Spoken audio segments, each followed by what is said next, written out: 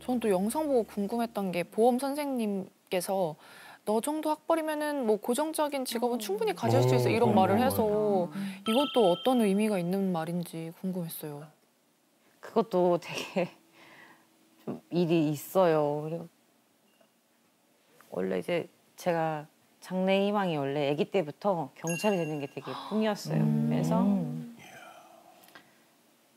나름 공부 이제 해서 이제 경찰 학과를 들어갔어요. 음. 대학교에. 데를. 네. 근데 이제 저 위로 언니가 하나 있는데 언니는 4학년이고 저는 이제 1학년 이제 갓 음. 입학을 한 거예요. 음.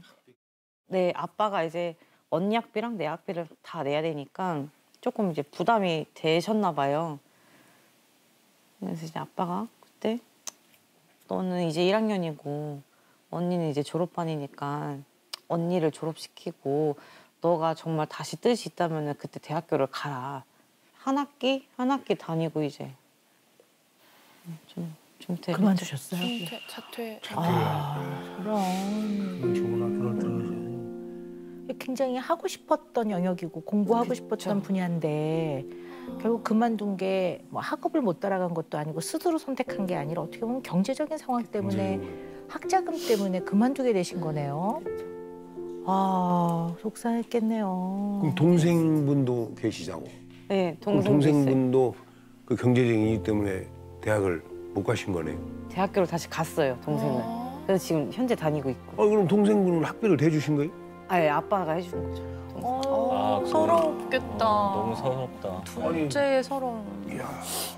아, 아유, 그럼 이럴 때 약간 차별받는 것 같기도 하고.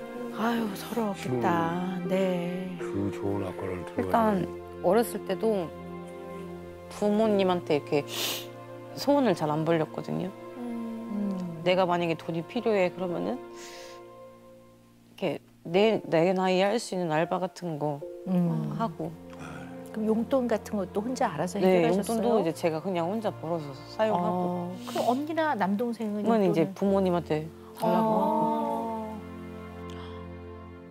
보통 일반적으로도 둘째가 자칫 잘못하면 서러움 많이 느낀다고 되게 맞아요. 신경 쓰라고들 얘기를 해요. 왜냐하면 중간에 샌드위치처럼 끼어 있으니까.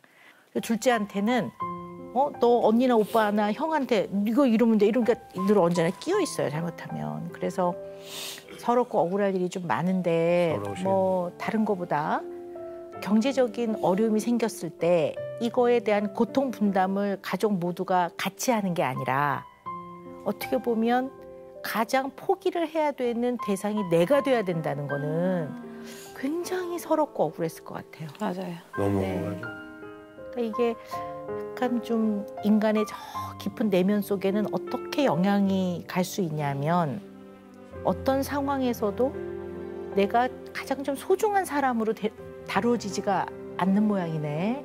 뭐 이런 생각이 들면 너무 어, 맞아요. 상처야. 너무 서러울 것 같아요. 규현 씨는 이런 그 지현 씨 사연을 알고 계셨어요? 아니 그건 모르겠었지.